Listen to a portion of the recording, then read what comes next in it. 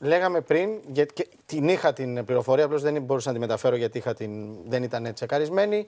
Πριν από λίγο ε, υπήρχε προσαγωγή του κυρίου Καλαϊτζίδη, του ηγετικού στελέχους του Ρουβίκονα στην ε, Γαδά, για απειλή ε, κατά ανθρώπων. Τα όσα έγραψε για τον ε, τουρισμό και τα όσα θα κάνει, είπαμε. Δικαιώνεσαι για το Χρυσοχοίδη. Δεν, λοιπόν. δεν δικαιώνομαι, δεν παίζεις με κάποια πράγματα. Η πλακίτσα και οι απειλές νομίζω τελείωσαν.